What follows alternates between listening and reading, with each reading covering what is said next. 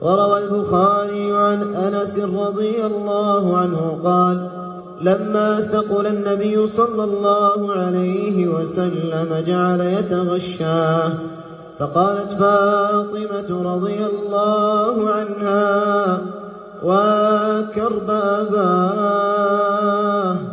فقال لها ليس على أبيك كرب بعد اليوم.